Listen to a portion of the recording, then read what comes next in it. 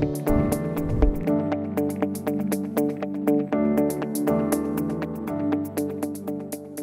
I'm Marlo, and welcome to the Weekly Word.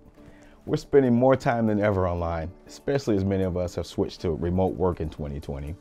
Unfortunately, as we've seen a rise in online work and play, we've also seen an increase in cybercrime.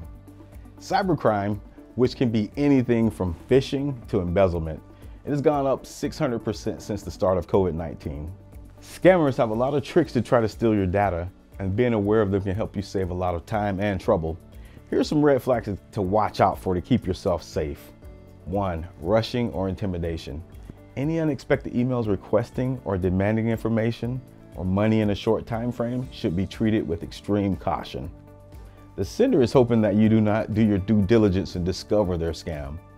Always take the time to look carefully at any request for information. Number two, grammatical trickery. Not every email with bad grammar is necessarily a scam. But if you see extremely odd grammar or generic greetings like hello customer, be on the lookout. Also, take a careful look at the email address of the sender.